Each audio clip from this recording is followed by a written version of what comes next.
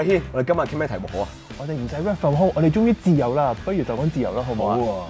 意就只有自由两个字。哇，点会咁简单得两个字啊？我谂好复杂噶。